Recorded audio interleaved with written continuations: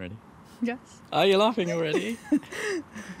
Hi, folks, and welcome back to the channel. Today, we're going to be talking mostly about seeds that we're sowing in July, flower seeds for the back garden and for the allotment. Um, it's not really a guide. If you want a guide, I'll link in the description to my good friend Niall. He's got a brilliant series on flowers to sow for, for specific months. Ours is not going to be very comprehensive.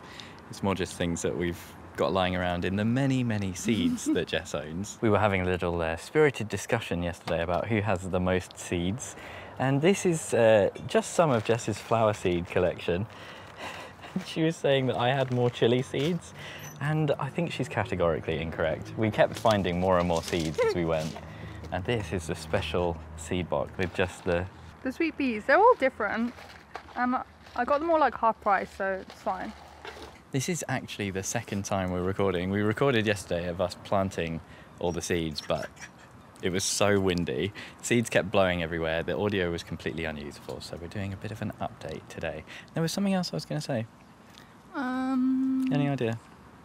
about the seeds? I remembered the other thing is after the seeds, we're going to do just a super quick little garden update and talk a little bit about some of the plans as well, which have Very continued. exciting garden plans. So we've got my seeds on the left and JB's down the bottom.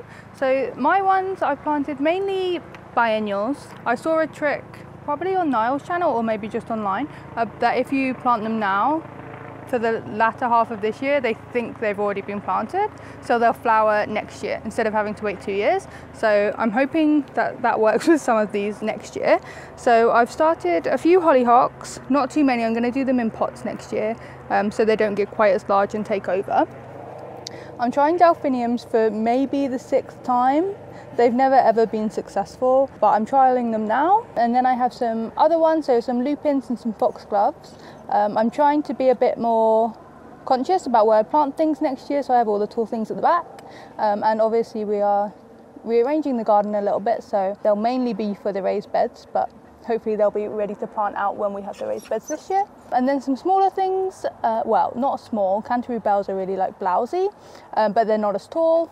And then I have some wallflowers, lots of wallflowers, I think maybe like four rows of wallflowers, some larkspur, which are also tall, and some cornflowers. Uh, and then these ones are also just really small ones, so poppies, pansies, candy tufts, sweet williams. Um, and then I've got some poached eggs, which are really, really cute um, some more oxeye daisies, some rock rose, and some candy tufts. I have already attempted to sow all of these before, um, and they did well. Nothing happened. Uh, so we'll see if they come out next year.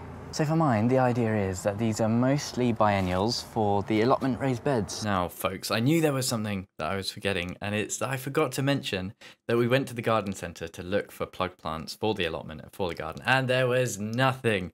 There was absolutely nothing of use, which is why we just went, sod it, let's do our own seeds. The ones that Jess started and has uh, kind of given over to me, and I'm, this is all completely new to me, this side of things, so I'm I'm hopeful, but one of the nice things about these biennials is it does it's not the end of the world if these don't come through. But we've got some stocks, some wallflower. I've gone quite you know quite a lot on on here, just three plants in this tray, and then some sweet William. And then this other one is a little bit different. You know, those first three are quite traditional. The idea is as well, all of these are going to be for cut flowers, hopefully. And then we've got a, a few candy tufts, some delphinium, larkspur and lupin. These are all quite the, the kind of pointy ones, you know, which they're a little bit they're a little bit scary for me, but they're maybe not my favourite. But I think if they're in a bouquet or something like that, they're probably quite nice. I do as well have in our conservatory a few more plants I'm going to be direct sowing in the raised beds. Um, I've got loads of cornflowers, loads of different types and colours. There's some dark ones, some blue ones. This orange flush calendula, which I think just looks amazing. Never seen one quite like that. So they can be direct sown now, apparently, as a, direct, as a bit of a biennial. Slightly unusual. Oxeye daisies, they can be sown now, just going to scatter them around, basically. Some very funky looking poppies and some California poppies as well. And apparently this candy tuft can also be direct sown around now. So not loads, but we've just kind of gone through the seeds that we've got and we're going to try the best that we can with them. So we've had some challenging conditions today. Not only has the weather been either completely boiling or windy as you like, we've also had helicopters going over, about 100 sirens going past. I don't know what is going on, But we've got a little bit of calm now, so we can do garden tour? Garden tour. Garden tour. So the begonia is massive and looking well, looking much better. I know I've said before that I didn't like the leaves, which I still don't, but the flowers are making up for it. I've got another one that we might show you in a minute. That's like a light pink, a lot smaller than this one. Um, and then I have the Philadelphias, um, which I just bought from the garden centre. Jess is slowly trying to kill this. I'm on the label and everything online says it is hardy as you like and like impossible to kill, and yet every day I come out here and it looks like it's trying. It's in the smallest pot. I am going to repot that um, today. It's just really, really hot. Uh, I'm going to repot that, and then the geranium next to it might be my new favourite thing. JB doesn't like them, or is not super, super um, fond of them, but I think they're so pretty. I think the colour is gorgeous. I don't hate them. So when I come back with two to three more, well, we'll see.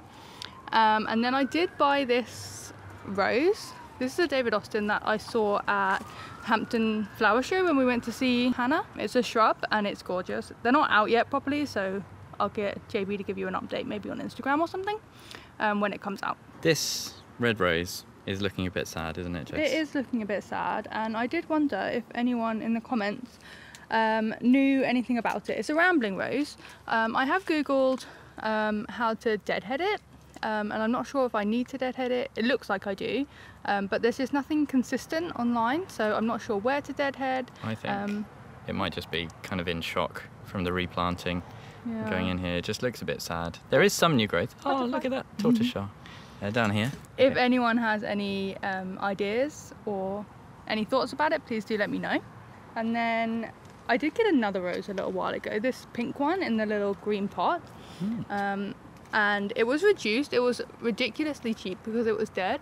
So I deadheaded a lot, and now some of the blooms are coming back. Nice. Um, and it's super, super cute. I'm in my rose era, clearly. Um, Sunflowers are looking nice. The sunflowers are looking nice. The sunflowers are looking like they need to be staked up again. Well, yeah, they've not really been staked up at all, have they? Um, excuse you, there are stakes on every single one of these sunflowers. They're just significantly smaller than the sunflower is now. Um, can you see that? Yeah, we're just gonna trust. Trust the camera. trust it. Okay. Uh, and then our tomato. Yeah, there's not actually many tomatoes on here, but that's because we've harvested them all. There's like one little red one on there. Yes. But um, yeah, this is cropped quite well. Just a little tumbling, tumbling tomato for the raised raised basket. Raised, ba- ra- what's it called? Hanging bars. Hanging ba- There's a bee there hanging basket. on the sunflower. The bees are liking the garden this year, which we're very excited about. Maybe something to do with the No Mow. I don't think it's anything to do with the no Thank you. Let's look at the sweet peas. So I have documented that the sweet peas did not go super well this year because they were um, kept out of the sunlight by the hollyhocks, but they are coming back. Well, this is I think as big as they're going to get for the year, but I still think they're so so pretty. And as I think you saw earlier, I have about 12 packs of seeds for next year, and I want to do them, you know, in like the triangle kind of cone things that people do them in, Like obelisks Yes. type thing. like those. I want to do them in those, um, and maybe on an arch. The hollyhocks have been completely stripped because of all the diseased leaves. So they're looking a bit funky. Let's zoom out. They do look a bit funky, but These would maybe look okay if there was just more of an understory. yeah. But unfortunately, the timing's not really worked out with the raised No. bed. Um, but I still like them, and I'm going to do them again next year, but smaller in pots, so they don't get they don't get quite like this. This Um, corner is like my favourite part of the raised bed. It's the only part of the raised bed that has anything in it at the bottom. But I grew mo- well, not the Nemesia, which to be fair is one of the prettiest things, but everything else I grew from seed. So there's Gypsophilia, there's Antirrhinums. Um, well, that's it. Those two. Those This two is the bits. tomato that you saved as well at the back. No, the tomato I saved is in the pot. Oh, what's that? Is it, oh, that's the tomato I that snapped tomato you just yeah. Yeah, look at this massive sunflower. This is the tomato I saved in the pot behind the seeds we just sowed. Yeah, I forgot to mention as well, like, this is the first time the cold frame's actually being used properly since I built it. It's just been a kind of home for random pots, but we do actually have some seeds in there now. It's very exciting. The Quadgrow tomatoes are looking absolutely amazing. I think down here, the Roma, absolutely loaded. We've got the first uh, honeycomb just coming up. We've not tried any of these yet, but very excited. There's two honeycomb and two Roma types in these Quadgrows, and they're doing okay. They did get a touch of blossom end rot, but we've been supplementing the watering, and it seems to have been working okay.